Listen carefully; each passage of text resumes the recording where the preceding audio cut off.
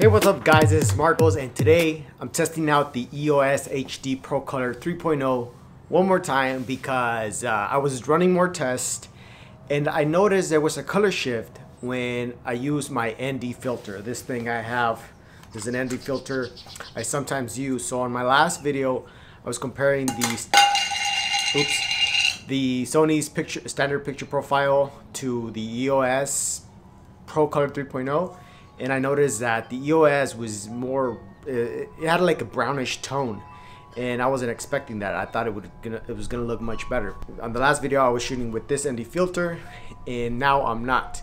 So that's what I'm gonna compare and maybe you can see that there's a color shift when you use an ND filter. That's something I did not expect. I thought this was not gonna affect the color in any way, but it turns out there is. So right now you're looking at the Pro Color 3.0 without any ND filter and now I'm gonna put on this ND filter. So now you're looking at the Pro Color 3.0 with an ND filter. The only thing that changed of course was the shutter speed. Now it's at 150th.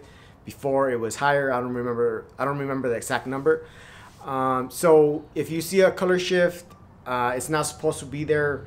ND filters are not supposed to uh, cause any color shifts but if there is now you know. Now just for the fun of it I'm just gonna try out the PP off that comes out of the Sony camera and see if there's any color shifts as well. Okay so this is uh, Sony's PP off standard picture profile with an ND filter on the camera. This is the standard picture profile off on the Sony without an ND filter Okay, so now I'm back at the original EOSHD Pro Color 3.0 without an ND filter. Uh, so you can kind of compare the difference in color. Uh, please let me know what you think, what you prefer. I, I, still have to look at it and compare the colors.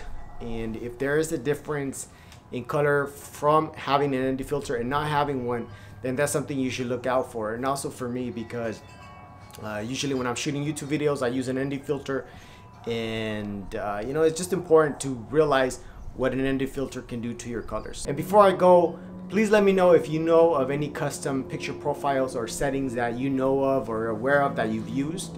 Um, I'm always open to experiment. So um, as always, I want to thank you guys for watching and I'll see you guys on the next video.